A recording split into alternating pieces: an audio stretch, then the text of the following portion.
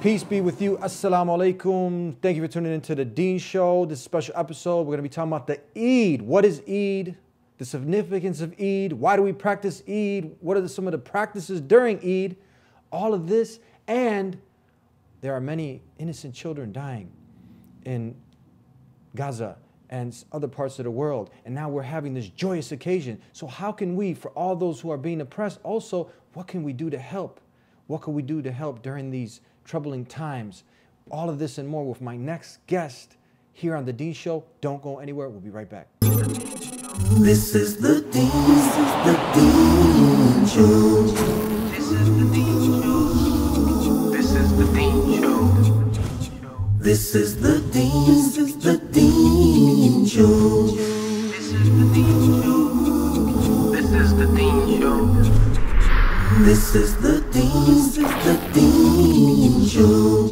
Assalamu alaikum, peace be with you. Wa alaikum assalam wa rahmatullahi wa barakatuh. How are you, Sheikh? Alhamdulillah Rabbil Alameen. Thank you for having me. Thank you for being on the Deen Show. Eid. Insha'allah, ta'ala. Yes. Eid is here now, and many people now, we cater to a lot of the not yet Muslims. Many of the Muslims now also now, it's that time of the year where we're going to be celebrating. So people want to know, what are these Muslims celebrating? What's it all about? We're just getting through the Ramadan. Can you talk to us a little bit about Eid?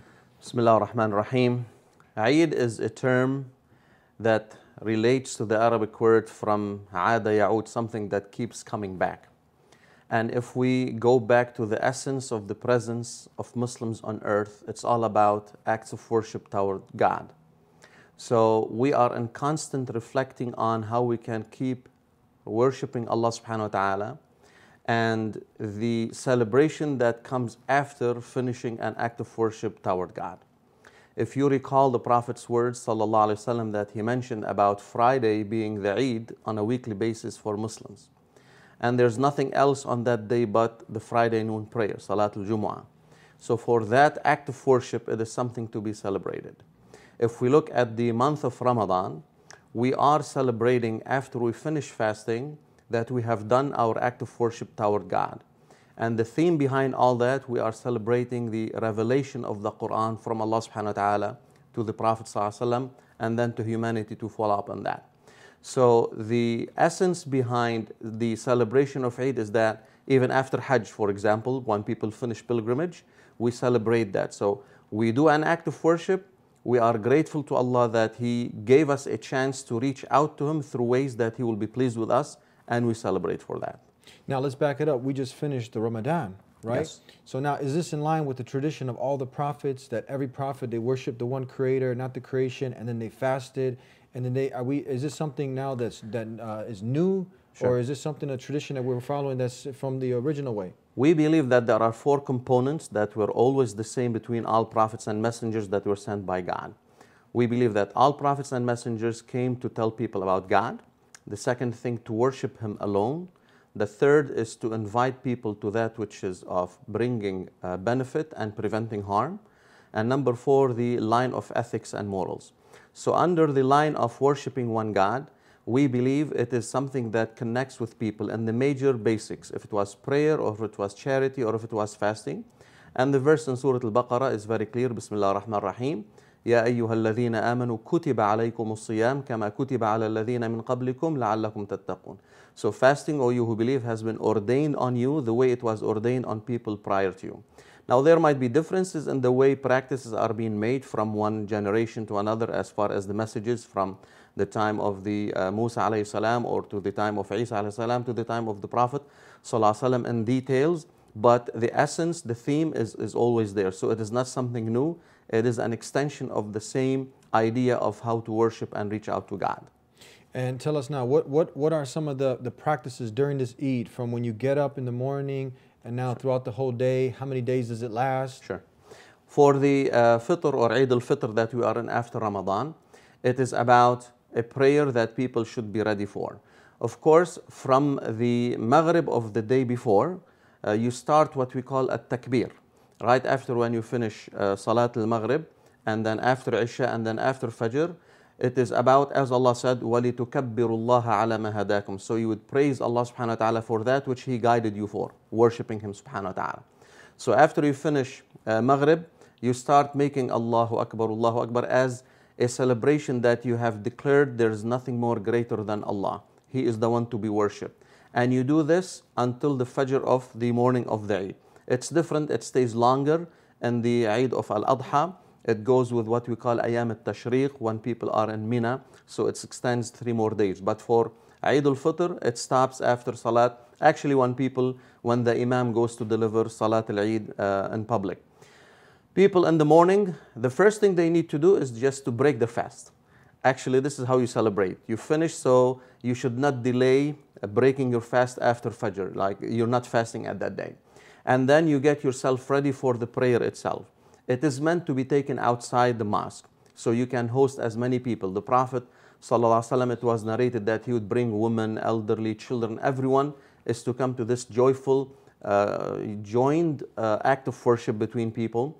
People are to dress well, to smell well, and make sure that they are in the best looking uh, for their Lord to celebrate that. And of course, social gathering, you have to be neat and you have to be looking nice. The uh, etiquette is that people sit down and wait for the prayer, making also takbir. And these words of takbir, uh, it is the same declaration of what all this life is all about. We are here to tukabbirullah ala ma hadakum, to praise Allah for that which He guided us for. Then there will be the call for the prayer. There is no adhan for it. There is no iqama like regular, you know, uh, time we do for regular salah. But rather the imam will take the lead and he will perform a prayer which is made of two rak'at. What's also different about this prayer is that it's filled with takbir too. So when you enter the first takbirah, which is called takbiratul ihram, that's when you enter salah with, you follow that by seven additional takbirat. Allahu Akbar, Allahu Akbar, and you do that seven times, raising your hands every time with that. And then when you stand for the second rak'ah, you add another five. So it's all about takbir and praising God. Also, the khutbah at the time of the Eid is something that relate to that which is of the uh, needed issues of the community to the public. So the Imam, after when he is done with the prayer, he will take and deliver a khutbah, uh, remind people of these issues that are important to them, including relating to other Muslims around the world, especially in these tough times that they are having, you know, hardships around the world. And this is the time that we uh, see significant number of Muslims coming and attending the uh, khutbah, the Salat al-Eid. So the message should be universal. The message should be inviting people to practice Islam and hopefully it will be a reason for them to commit later on.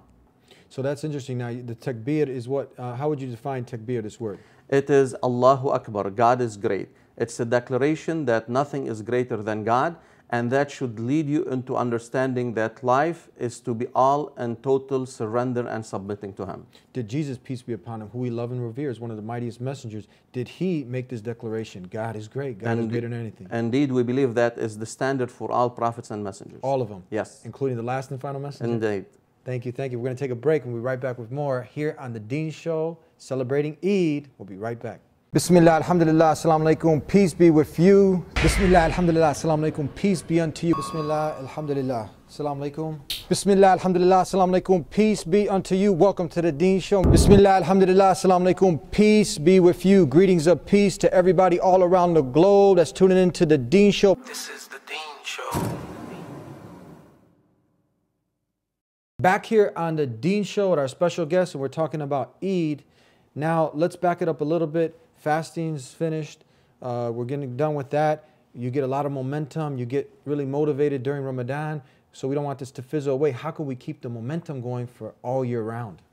Well, Ramadan is meant to be more like a faith station, that it should give you the dose. You start by the relativity to the hadith of the Prophet ﷺ that whoever fasts Ramadan and followed it by six of Shawwal. So the fasting should not vanish from your daily encounters, and then it is matched to be, you know, the whole year as if it is being fast. Because if you multiply things by 10 times, 30 times 10, that's 300, and then 6 times 10, that's 60. So total of 360, which is between the lunar calendar, that's where it is. So you keep all the diverse ways of uh, engaging ibadah and worship to God, even if it was in fasting. And then after that, even, you know, the nafila or the additional things that are to fast Mondays or Thursday. But uh, if Ramadan is meant to celebrate the revelation of the Quran through fasting, which gives you a chance to rise in your spiritual relationship with God, uh, honoring the revelation of the Quran, this should reflect on a peace that comes within your heart. And that's where it is mentioned to be in Laylatul Qadr, which we celebrated, alhamdulillah, yesterday. At the end of the verse in Surah Al Qadr, it says, Salamun hiya hatta matla al fajr. So, this peace that you are able to enjoy and feel throughout the month of Ramadan, peaked at the night of Al Qadr or the decree, should give you this tranquility that should go along with you throughout the whole year till next year, inshallah ta'ala.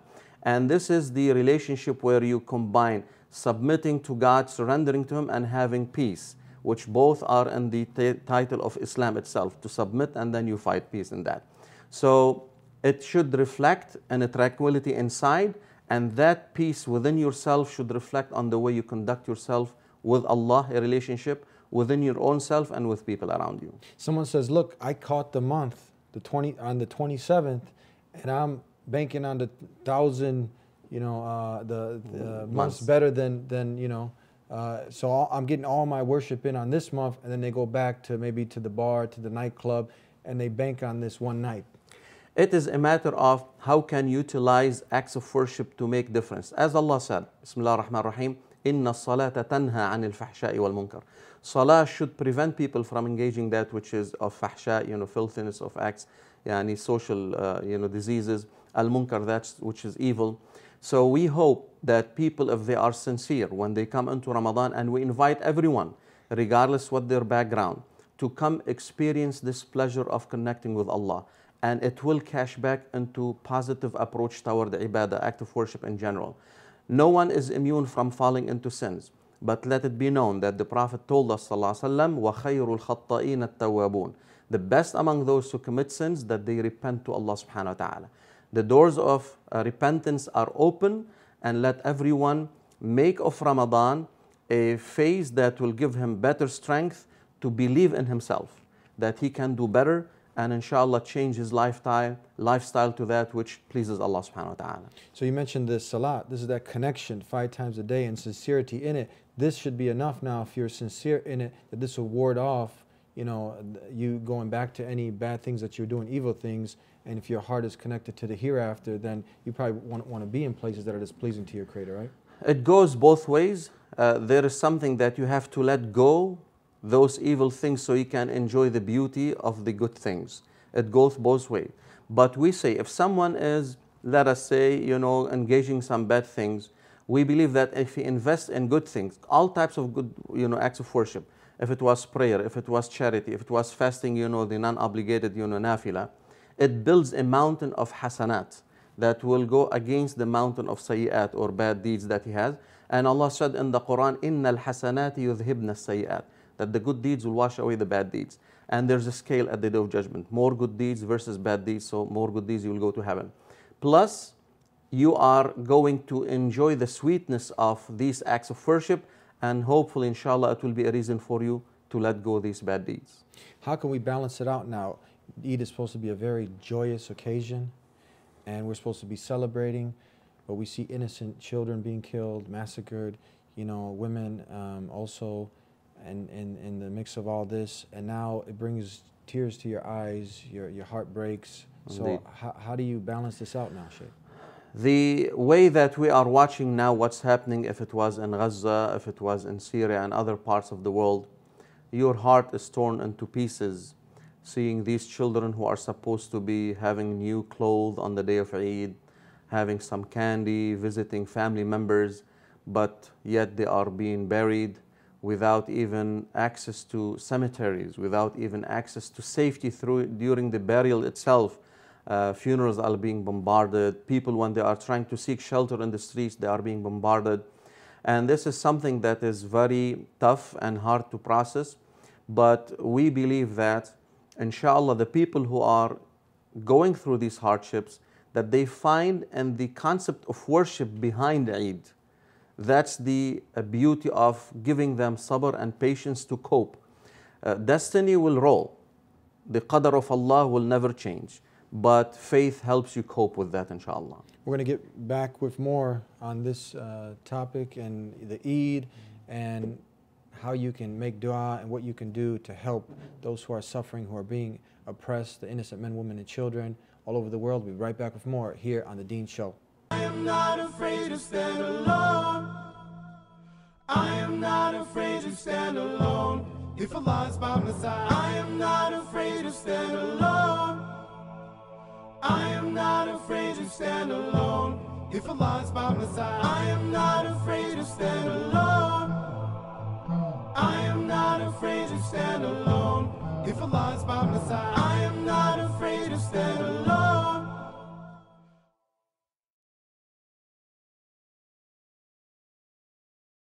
Back here on the Deen Show, Sheikh. Now, you being a community leader, you deal with a, a, a lot of different people from different cultures, backgrounds, religions, and you know very well a lot of the negative stereotypes that are associated with Islam. So, what, what do you say when some people try to make Islam out to be like the boogeyman, that Islam is against a certain people, a certain race, you know, uh, and is against peace?